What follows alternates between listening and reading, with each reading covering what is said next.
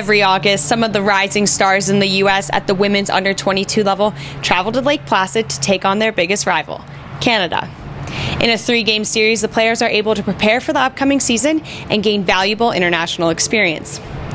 This year, Team USA brought in four coaches with extensive NHL experience. Over a combined 43 seasons, the four of them played more than 2,500 NHL games.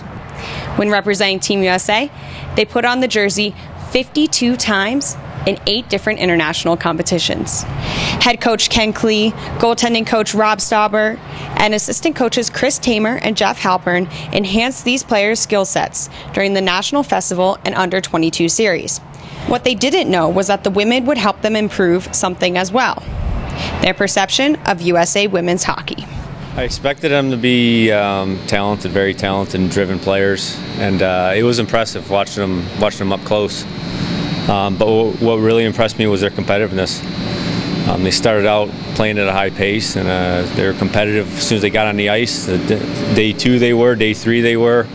Um, they kept bringing it every day. That was their consistent competitiveness, day in and day out, was uh, pretty impressive.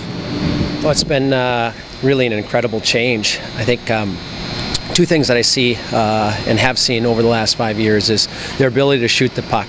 Um, when I first came in, you had some players that could really shoot it, but then there was a drop off from, let's say, the top five to the, to the bottom. Um, and now most of the players can really shoot the puck. So their hand strength has improved, their shots have improved, which of course uh, makes us a more dangerous team, and we score more often. So that's been a huge um, improvement.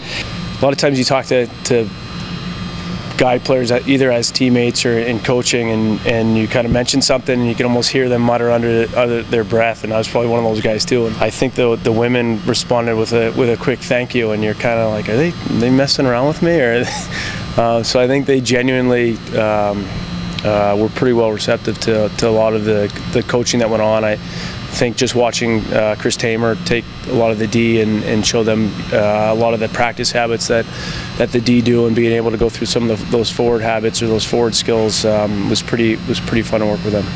The U.S. women's under 22 select team won two out of three games and took the series over Canada. Most importantly, the skills and developments they were able to make will help them in the season ahead.